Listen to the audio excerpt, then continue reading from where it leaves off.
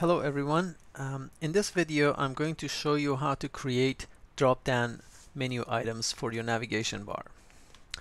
Um, let's create a new page called media and add it somewhere here maybe before the blog and then uh, create three pages and convert them to sub menus for that media.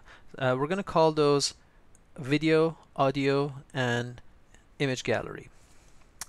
So in order to do that, we got to go to the admin page and obviously we got to create some new pages. So we got to go to pages, add new. First and foremost, I'm going to create the media page. So type media and then here we're going to publish it.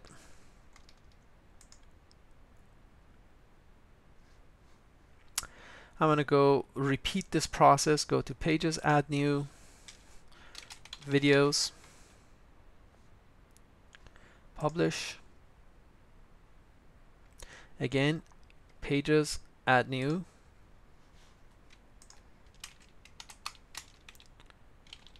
audio, publish, pages, add new, image, gallery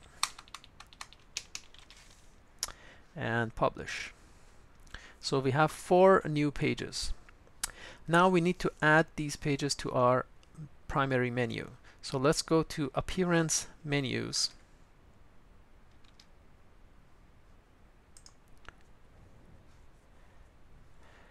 we should be able to see those uh, new pages here which uh, they are listed here I'm going to check all these four and then we're going to click on add to menu.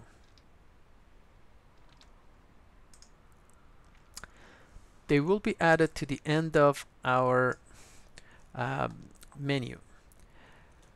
I would like to bring media between blog and about and then video here under media. But when I bring it here I like to uh, just slide it to the right just a little bit slightly.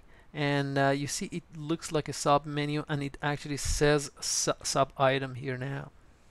So it's really really easy to create a sub menu. All you need to do again I'm going to show you here with audio. I'm going to bring it up and then I'm gonna slide it to the right and that's it. It turns to a sub item. So there you go one more. Image gallery. And that's it now we have media added between about and blog and we have three sub item uh, sub items for media page. So how do we see that? We got to go up and save the menu first.